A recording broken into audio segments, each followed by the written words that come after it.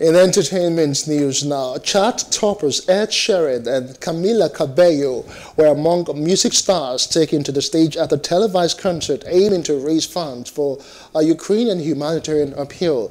Uh, taking place in the British city of Birmingham, the lineup for the two-hour concert for Ukraine also featured Ukrainian singer Jamala, who won the 2016 Eurovision Song Contest, and music veteran Nile Rodgers and Chic, as well as groups Snow Patrol and Manic Street Preachers.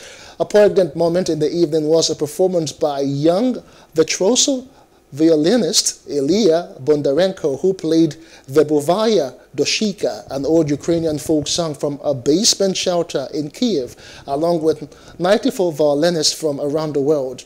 Singers Emeli Sandé and Gregory Porter, violinist Nicola Benedetti, as well as Gospel Kingdom Choir also performed.